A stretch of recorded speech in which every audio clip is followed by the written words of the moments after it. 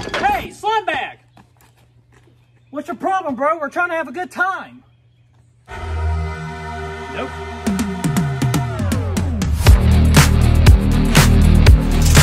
Who the hell are you? Oh, what the hell?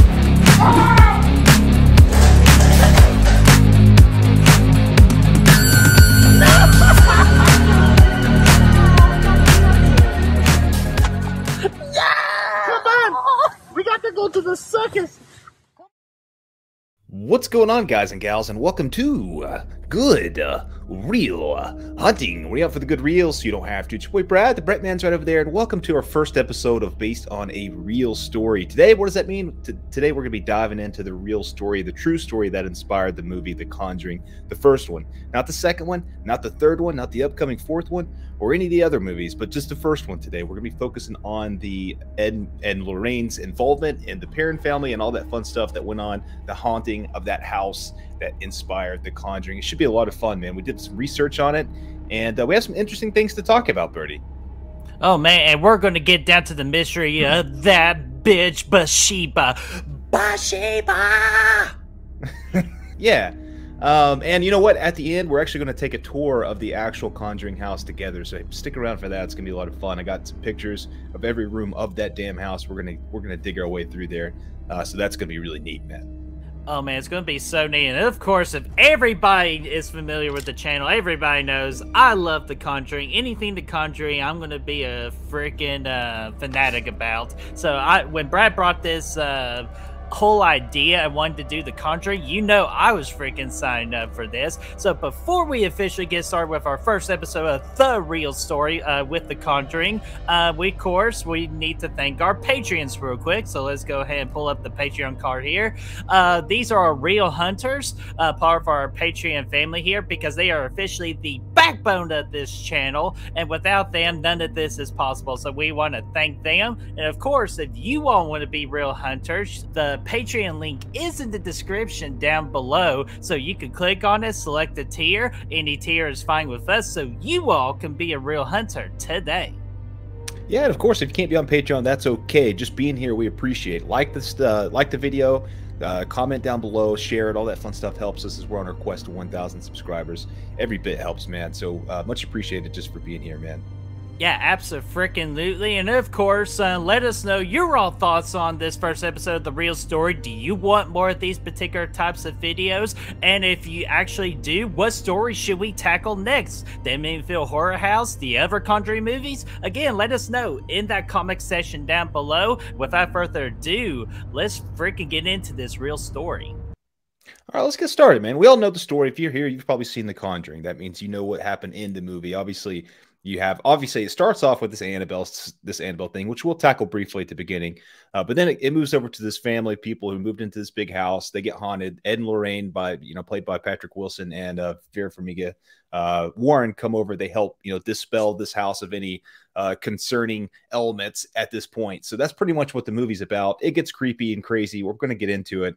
Um, but yeah, man, I think without further ado, let's. Uh, the movie starts with Annabelle, so let's go ahead and do a little side piece here, if you will and talk mm-hmm. about the uh, Annabelle uh, haunting here a little bit. Uh, but this this was a 19 Annabelle was a 1970 Warren investigation. This was a nursing student by the name of Donna that received the Annabelle doll as a gift uh, in the mail from her mom. I don't know if it was in the mail or not, but it makes sense, right? Uh, they lived together. She lived with a, another uh, nursing student by the name of Angie. Uh, and just together, they would notice that this doll would change positions, man. They'd be getting childlike messages on pieces of paper. We saw this in the movie um, mm-hmm. you know, childlike messages on pieces of paper. The doll would be moving around. There was another friend, Lou, who stayed with the two girls, uh, who noticed that uh, the doll actually he actually claimed that the doll tried to strangle his ass and also had a uh, it caused him to have a bloody claw mark on his chest. Uh, so they did a séance. Ed and Lorraine came in. Uh, they discovered that uh, they discovered that the, the doll was possessed by a young girl by the name of Annabelle. She was about seven years old. So that's creepy as hell. Um, mm-hmm. And she resided there before the apartments actually were built that they were living in, that the nursing students were living in. Um, her body was discovered in the field at the apartment site before the apartments went up. So intense stuff right there. And then, you know, obviously, like I said, the Warrens got involved uh, they conducted an exorcism of the apartment and they took the doll back to their residence. And that's pretty much all there is to know about the Annabelle story. It's pretty much what we saw in the movie, with the addition mm-hmm. of this seven year old girl that was murdered, I yeah. guess. Yeah, exactly. And uh, just so uh, they add the whole Annabelle thing into the Conjuring movie, you know, to kind of enhance the movie. But the Annabelle doll has nothing to do with the particular like tackling of the house that we're going into in this video. But which again, a little side quest. We all love side quests on this channel. We do, man. Uh, side quest is always a good time, but let's get started with what we're here for, man. Let's talk about the Perron family, who is the family, the main family in The Conjuring. Um, what is what's their name in the Conjuring movie, Birdie? Do you recall? Is it they're not actually the parents in the movie, right? There's something else. No, uh, the the names of the like of the mom and dad and the sisters and all that. Yeah, they all they're yeah. all different, right? Than their real names. Well, no, uh, actually, I think they were pretty much spot on for the most part. Uh, of course, we get uh, Car- Carolyn and um, Roger. Uh, they're the mom and the dad, and then of course we got the uh, the daughters in the movie of Andrea, uh, Cindy, Nancy, Christine, and April. So I think all those were absolutely spot on. So they kept like the first names. Okay, yeah, it actually, yeah, it looks like it. So um, that's cool news. Um, so, anyways, they moved into this big ass home. Uh, it's called the Old Arnold Mill Estate in 1971. Uh, it's Carolyn, Roger, and their five daughters, like you said. It's a 14 room home, really big, uh, nice home. And we actually got uh, some pictures and stuff here. Uh, I won't get into the actual current photographs here, but um, here's the Perron family here. Uh, old school photos. These are back in the 70s. And I think, if I'm not mistaken, this picture was taken right as they moved in, uh, if I'm mm-hmm. not mistaken. Actually, yeah, I believe I so. And these are and, and that first these first kind of two pictures Brad's showing off here, uh, they showed these at the end credits of the of the Conjuring movie. So it's like it kind of show like uh, where all this came from, like the originality of things. Uh, and yeah, these are old pictures, man. And I even got uh, some pictures of like um of like the mom and dad and the each uh, individual daughter as well. Uh, so yeah, man, I, this is just crazy that happened so much long ago in the seventies. I know, dude. Here's a picture of the house. Actually, I think back in the '70s. This is the house. So mm-hmm. obviously, um, it's a bit different. It's still on the big, you know, big plot of land, a lot of acres and stuff like that, like it's portrayed in the movie. But in the movie, I think we have a picture of the uh, the movie one just to compare a little bit. Yes, here. we did. Uh, yeah, uh, here it is. Here's the one from the movie. You know, this it, it's portrayed as a much bigger, larger house um, in the movie, but you know, it's still kind of the same thing, uh, same same deal, just on a big plot of land um, out there in a nice snowy backdrop here. So cool house. It's not as creepy as it is in the movie. Oh, definitely not. And uh, again, that's just some of the small, like, you know, cinematic changes you have to make in a movie just to make it, like, you know, display, like, to make it intimidating. But trust me, that house that Brad just showed, the original house, it is definitely creepy as hell. And we're getting ready to go into some details into it. um, do you want to do the pictures of the real family right now, or do you just want to kind of pop them yeah, up? sure. Uh, let me yeah. pull them up real quick. Uh, first off, we got the mother. This is uh, Carolyn uh, Perron. And then uh, let's get uh, the dad here, and that is Roger with rocking the awesome stash. Uh, I just want to go ahead and say real quick, I'm always a fan of freaking fancy um, stashes. Then we get the um, eldest daughter of uh, Andrea. This is the oldest of the five children. And then the other four, we get um, Cindy Perron, uh, we get Nancy Perron, then we get Christine Perron, and of course, I believe this is the youngest child. Uh, that her name is April Perron. Yes, and you know what? Andrea's been very involved. Uh, she, I think she did a book. I know she did a document mm-hmm. documentary uh, as far as these events and stuff. And we'll kind of get into some of her quotes and stuff here in a little bit. Um, but she was one of the sister, you know, the, the, the kids there. So anyway, uh, they moved into this home back in 1971. Uh, just to talk about the home a little bit itself, it's a 200 acre farm in Harrisville, Rhode Island. So it's up there in New England. Um, I remember when they, whenever I, I saw when they moved in, they were, you know, they, they, they got there, they were looking at the house and stuff. I think because one of the neighbors told them, uh, for this, talking to, to daddy Perron, he said, for the sake of your family, leave the lights on at night.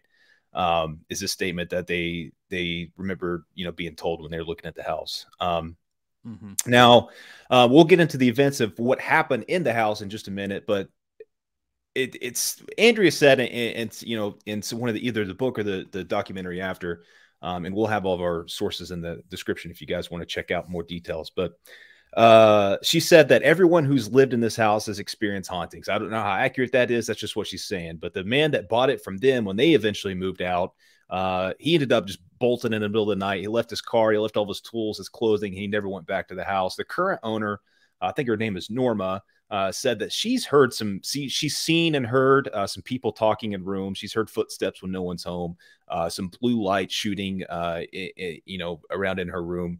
Uh, little things like that, nothing too crazy. I think maybe the house just sold again last year, um, so mm-hmm. she might not be the current owner anymore. But yeah, uh, because I was trying to get you to buy it or at least do an Airbnb in it so we could shoot a skit, but you're like, oh hell no, I'm too scared for that. Like I'm not crazy like you, Bert.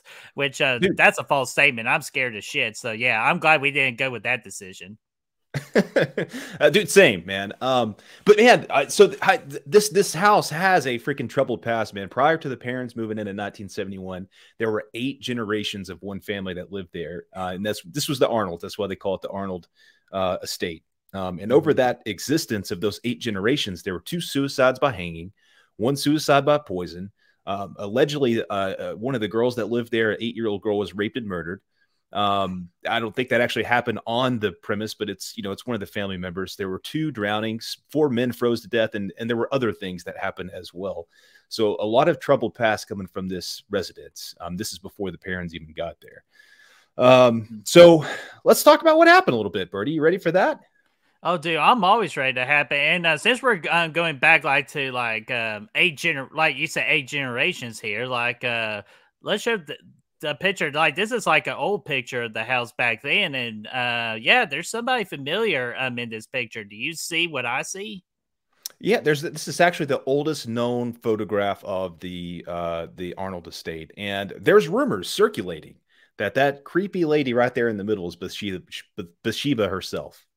Yeah, that bitch Bathsheba. Uh, right, bes- like right between the horse and the chair. Uh, if you see like the chair to the left of the horse, uh, right between there, that is uh Bathsheba herself.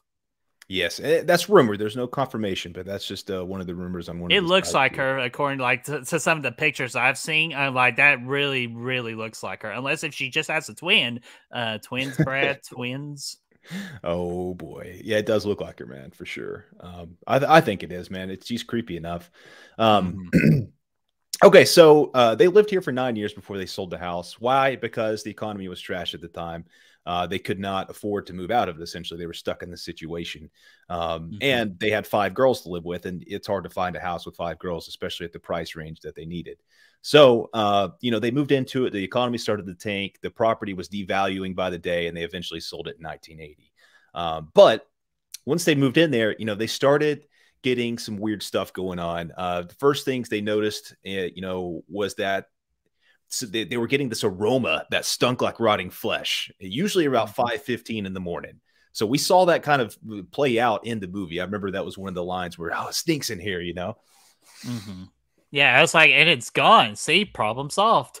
Uh, yeah, but that was definitely uh, like they kept some things like from the real story, but then of course they added some things. So like, if there's some things like they added in, we'll let you know. Yeah, dude. Um, some of the early haunts, uh, Cynthia and Andrea, these were ones that were talking about this. This is stuff that happened to them, I guess. Uh, but they said at first the ghosts were benevolent, like they were they were decent. Uh, they had a ghost woman uh, that uh, that smelled like flowers and fruits when she was around. So that's always pleasant, right? Apparently, this ghost came in and tucked them in at night. They kissed him in the forehead. They said, "Good night. We'd love you." I'm making up the quote. I don't think they actually said anything, but this was a ghost that actually came in and tucked the, the, the girls in at night. We did not see that in the movie, Birdie. No, because that'd be too. That'd probably be the scariest thing of all the Conjuring. There, I'm just saying good night. I'm like good night. Wait, what the hell? Like, uh, dude, that dude, that freaking creeps me out. Like, God, mighty. Um, so I don't know if that was actually like you know true or if that's maybe they confused this lady for their mom or something. I don't know, but either way, that's what they they alleged happened.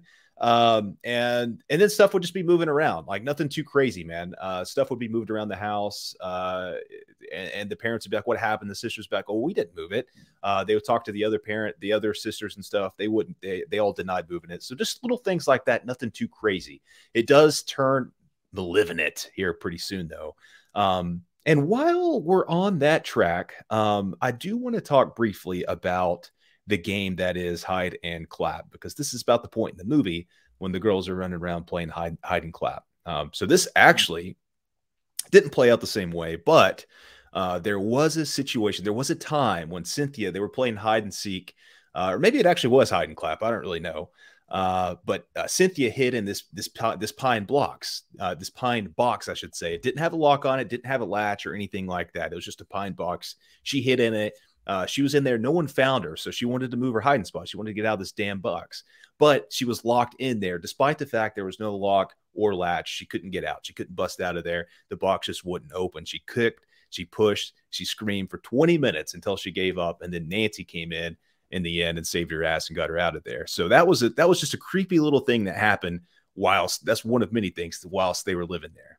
Yeah, and I'm glad you brought that up because uh, actually they did uh, kind of like cover the Conjuring story uh, in a Syfy show called uh, Paranormal Witness, which I freaking have a guilty pleasure of that show. I love that show, and they did this episode, and the first story they told was exactly the story that Brad just told right there. So I knew exactly what you were talking about, and just the fear of when she was telling that story uh, was freaking sad, man, and, and cre- again creepy as hell too like uh, being trapped in such a small space. I bet that really uh, messed her up um, after that incident.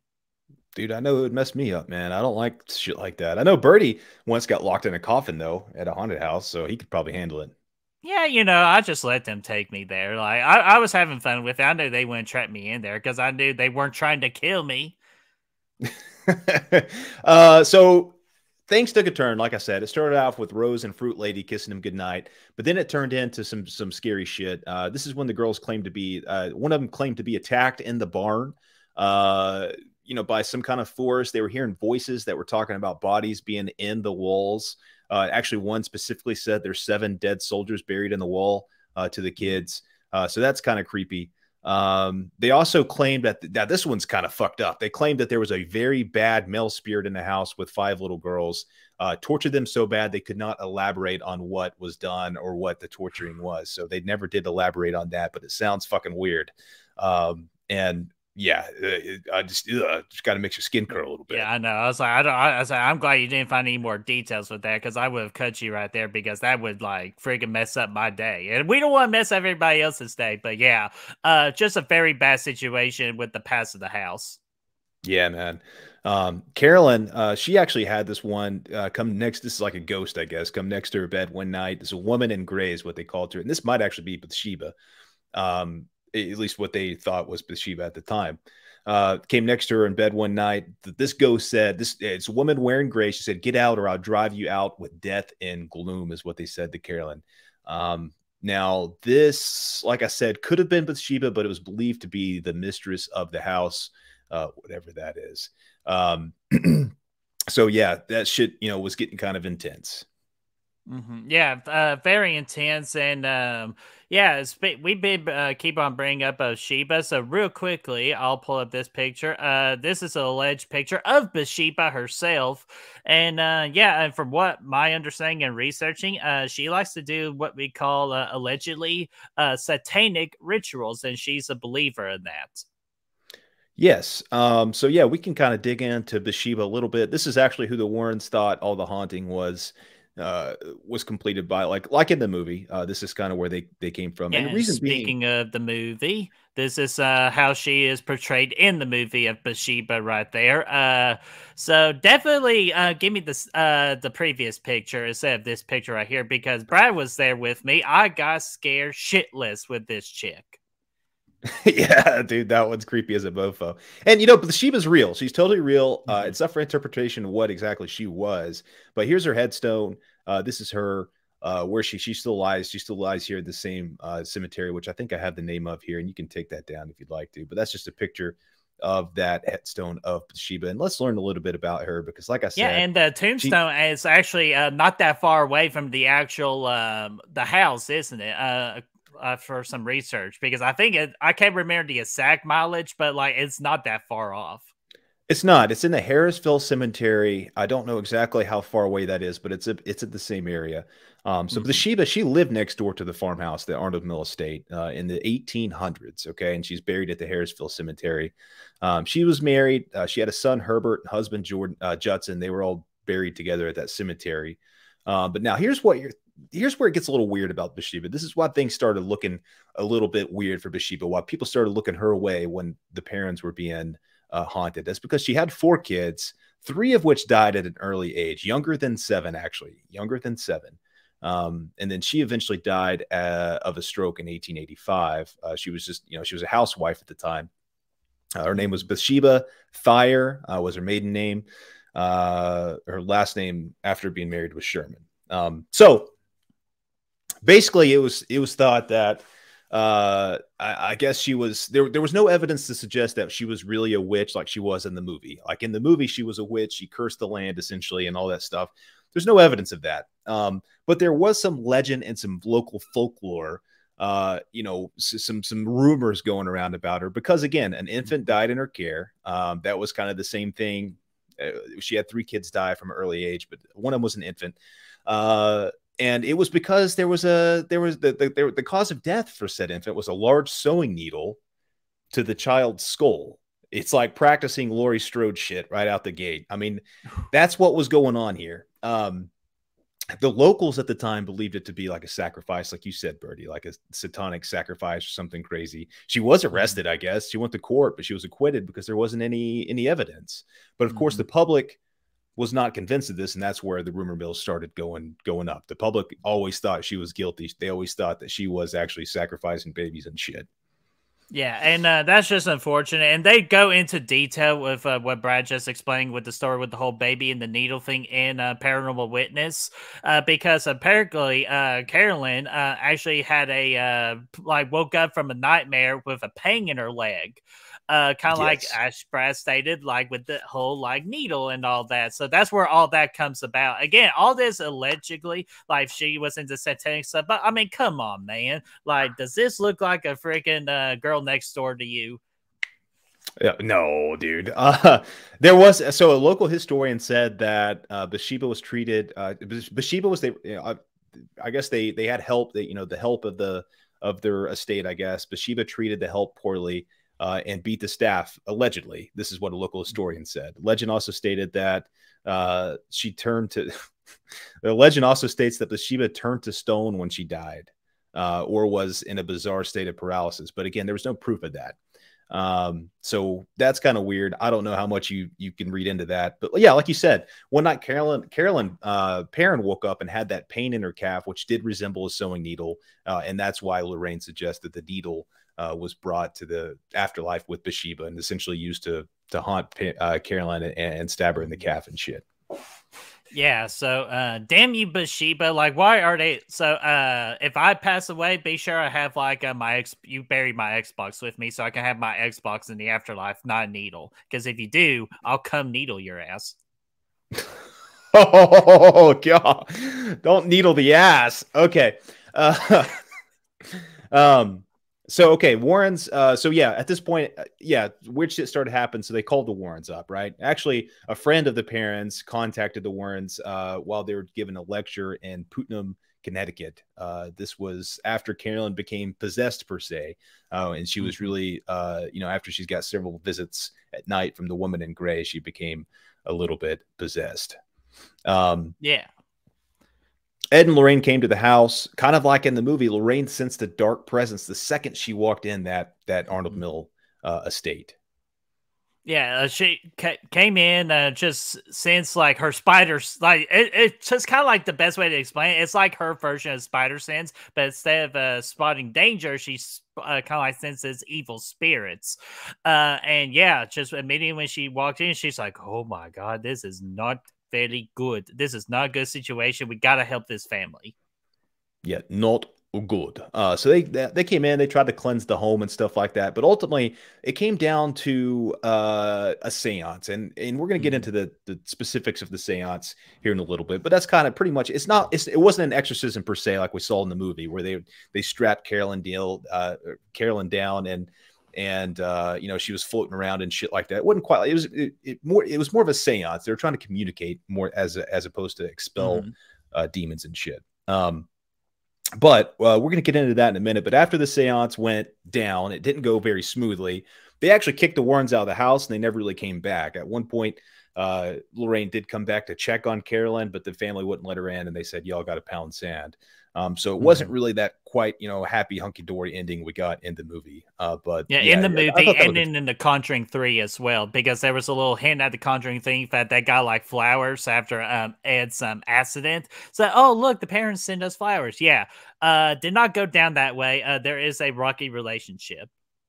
Yes. Um, so let's talk about uh let's talk about the uh the the seance a little bit. Um so Yeah, and uh, let's yeah, let's talk about the difference because I didn't even know this. So like doing research and getting the definitions on our notes and everything, I thought I found this to be really interesting because I thought they were like really the same thing, and there's it's sort of, but definitely handled in a different um, approach. yeah, uh for sure, man. Yeah, so uh so the they they decide to do the seance, right? Uh and there's a quote actually I'll read from Andrea here in a second. Um but uh, it was pretty intense, right? This this actually made things worse. This was something that uh, did not help at all. This is something that Lorraine said, her words. Uh, it, it basically it disturbed her to her core. And here's what she- Lorraine said about it: the things that went on there were just so incredibly frightening. It still affects me to talk about it today. This is her talking about those events. Um, Andrea, one of the you know the one that I said, said did the documentary and the book and all that stuff. She snuck down there and caught a glimpse of all this shit uh, as it was going down, which is pretty intense. She described it as uh, the seance was scary. It was the most terrifying night of my life. She snuck down into the basement. Yes, there's a creepy ass basement. We'll see it here in a little bit. She snuck down to the basement to see this seance take place, and she was terrified. Um, so they got there. The Warrens got there with the medium. Uh, Andrea watched as the spirit was conjured up and then threw her mom into another room. Uh, her head smacked the ground. She went unconscious. A priest was in the corner, pale as a ghost. He was freaking out. Uh, and this is, you know, the Warrens at this time believed that uh, she was possessed. Uh, but while that was going on, dude, uh, Carolyn was speaking languages not of this world. Her chair began to levitate as she was thrown across the room, uh, kind of like that. Actually, is kind of like in the movie. So, I mean, all that shit sounded pretty intense. Oh yeah, so intense. And uh yeah, let me get the quick definition of the seance and uh, exorcist, like uh, because like there is a difference. Uh, seance is a meeting at which people attempt to make contact with the dead, especially through the agency of a medium, kind of like how Brad already uh, mentioned a medium that was a part of, of this um, seance. And then an exorcist is the expulsion or the attempted um, expulsion of a supposed evil spirit from a person or a place. Uh, and normally, uh, how these things they always want to try to do a seance first, so they could kind of interpret or like kind of like figure out what the situation is uh, before they actually do the exorcism. Yes, exactly. Um, and while whilst this was going on, they this like I said, they kicked the Warrens out over concerns of Carolyn's mental health. It was just it was not good at this point. This is uh this is actually about the seance. This is Andrea's words about the the seance. Um, I think this was in the documentary that we posted down below. Uh, during that fateful night, I I was certain I had seen my mother die. What everyone present in the house witnessed left a permanent impression. The night of the seance was a gruesome event, shocking and horrific, the definition of childhood trauma. My mother's body was rolled into a ball. It was absolutely heart stopping, hearing her scream, watching her writhing in pain, and thank God every day that she has no memory of it. Uh, although she remembers everything else perfectly well. Uh, there was no blood and gore involved, nothing like how the film portrayed the incident. Sounds a little bit like the, how the film portrayed the incident, uh, but it was still haunting. Uh, it wasn't Bathsheba that attacked my mother that night, but whatever it was, it was incredibly powerful. Certainly powerful enough to claim her life, and it wanted to. Uh, my father thinks she was possessed for the few minutes because she spoke in a language that does not exist on this planet. Mhm. Yeah, and that's definitely a sign of possessions too when they're speaking another language that uh, some people have never heard of before. Uh, so that is accurate. Yes. Um, so that sounds pretty intense. And I think, uh, I mean, really, I think that was about all the information. Like, I, we tried to find, like, they didn't really have any recordings of it or anything like that. Yeah, trust me, Um, I looked uh, everywhere uh, for those recordings. Uh, they mainly had recordings for the um, the second Conjuring, uh, but again, we'll uh, discuss that topic later and get the recordings of that then. But unfortunately, uh, no uh, audio was uh, presented itself like with the uh, with the Perron family. Yeah, but apparently, I mean, the plan was that they wanted Carolyn out. and Whatever entity this was was jealous of Carolyn, wanted Carolyn out of the household. They tried physically assaulting her. That didn't work. So instead, they possessed Carolyn to terrify the family so they would move out that way. Um, so yeah, that that, That would do it. Pretty wild. Yeah, I mean, I'd be out of there, man, for sure. Um, but yeah, like I said, man, I, Ed and Lorraine, they got kicked out at that point. They never came back. Lorraine still, she acted as a consultant uh, while they were making the movie and stuff like that to kind of help out. Obviously, they had case files on it and everything. But I mean, that, that's pretty much it. Like I said, after that, they stayed there for another, you know, several years. They didn't sell the house until about 1980, I believe. Um, so they were there until they had the, the means to do it. And and like I said earlier, the house continued to have hauntings after they left from multiple other people. God, I, I just can't imagine. Like, I understand, like, during that time, too, they were broken. They just can't move out like how they wanted to. But I can't imagine just, it's like spending like another, like, hell, even another second in that house after uh, the whole seance. Uh, I couldn't be able to do it. But for them to do for like additional couple of years after that whole incident, dude, like, First off, I give them props for being brave, and second, I just can't imagine what they've gone through um, after all that, all those events. Yes. So um, another quote here I got from uh, Andrea from her uh, documentary here. Uh, do you want the audience to take away anything from watching this documentary special? Uh, and the main thing she wanted people to take away is that Bathsheba Sherman was unfairly misrepresented, mischaracterized, and mal- maligned. Uh, even though we don't have all the answers about her life and her behavior, I want people to give her the benefit of a doubt. I don't think she's a villain. I think she was an immortal soul who struggled just like everyone else. And I think people should take a lesson from Bathsheba's life. Uh, a heinous accusation can linger in the ether forever. And that's precisely what happened to Bathsheba. So that's what she wants people to take away. But if it wasn't Bathsheba who did all this shit, then who was it? Um, Mhm. And that's when she answered probably Mrs. Arnold. She's the original resident of this home. She hung herself in the barn uh, many, many years ago. And I think her husband even took her out of the, the hanging situation and put her in the house so people wouldn't know she killed herself. Um, so there was some some shit going on there with that. So that's the accusation, I guess, at this point from Andrea Perron. Yeah, and uh, Andrea is a lot better human being than I am because I still think of Bathsheba was an evil bitch uh, myself. but uh, but again, uh, that that's actually a great point on something I just never really thought about because you know in The Conjuring 2, uh, the nun uh, was using that you know the spirit of that particular house like to try to do things and all that. Uh, so I never really thought about like in real life it could have been um, Mrs. Arnold that could have been the mastermind behind everything and kind of uh, putting all the blame on Bathsheba. So that is a amazing uh, possibility on that. Yeah, dude, absolutely, man. I think that's about it from the story. Uh, Was there anything else that we left out, or anything that you wanted to bring up, or anything like that? No, I think we pretty much cover uh, most of the basics of everything. Again, we try to dive into this uh, with as much details as we can, uh, and I felt like we uh, definitely cover uh, the majority of the importance of this whole story. Uh, but I, you know what, I'm freaking excited about when you told me about it. We got to freaking take a tour of this house. Yes. All right, let's do that, man. Let's start off on the. This is like I said, it sold. I think last year, from what the article said. I'm not sure if it was last year, probably 2021. Um, here's what it. Here's from the listing photo what the house looks like today. Um, pretty much the same as it did back in the 70s. They just looks like they changed the siding. Uh, it's still out there in the middle of this farm. It looks like there's a freaking presence about it because the fucking clouds over it are very ominous. But you know what? It's a cool looking house though. Um, let's get. Yeah, I like the wood. I like the log uh, feel of everything with the property and everything. So I actually uh, am a sucker for these kind of houses. Yeah, dude, I agree too, man. And let's get on the inside because this house had a virtual tour. So I, of course, took the tour and screenshotted just about every room. This is uh just you know random ass room, nothing too exciting here. This is uh this was kind of towards the back if I remember. I think maybe that door goes outside like the second entrance, but it's kind of towards the Hmm. back on a, that different level.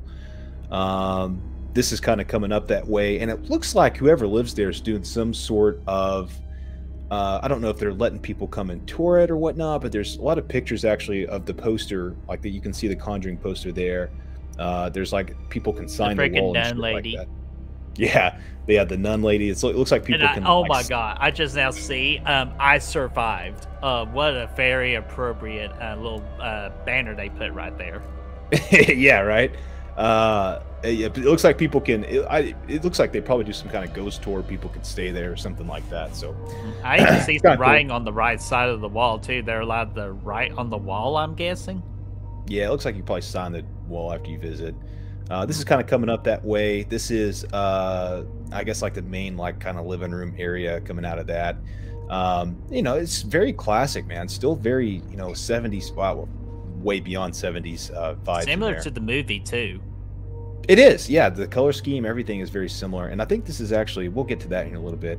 Uh, here's a little, uh, a different room kind of coming off of that. Obviously, you see the Conjuring poster, the Nun uh, poster hanging up right in front of you, which is scary as fuck. And yeah, they got T-shirts and chairs and all kinds of stuff. So that's definitely. Hey, I give them credit. They're smart.